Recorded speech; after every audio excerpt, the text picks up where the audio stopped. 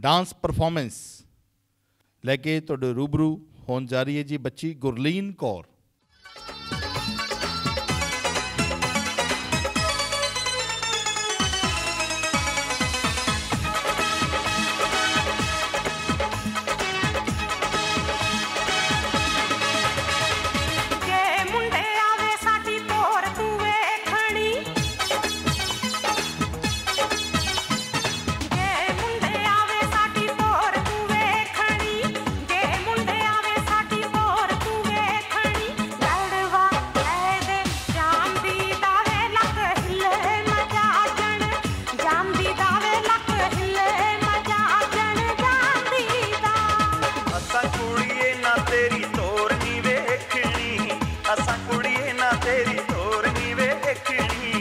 ਅੱਗ ਲਾਉਣਾ ਗੜਵਾ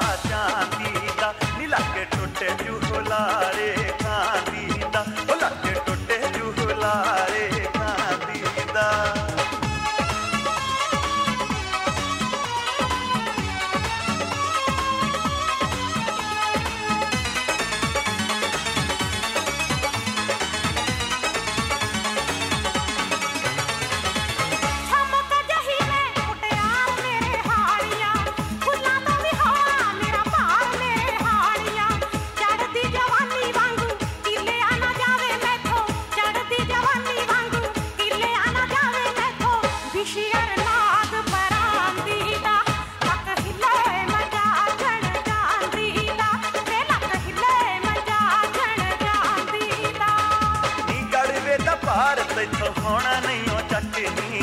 ਕੱਚ ਨਾਲ ਕੱਚਾ ਤੇਰਾ ਜਾ ਪਦਾਏ ਲੱਗੇ ਨੀ।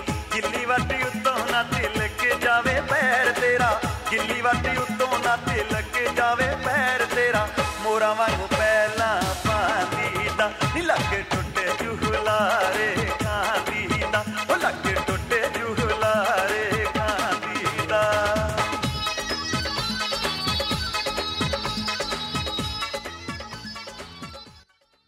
ਮੈਨੂੰ ਭੰਗੜਾ ਪਾਉਣਾ ਬਹੁਤ ਵਧੀਆ ਲੱਗਦਾ ਸੀ, ਪਰ ਮੈਨੂੰ ਕੋਈ ਵਧੀਆ ਪਲੇਟਫਾਰਮ ਨਹੀਂ ਮਿਲਦਾ ਸੀ।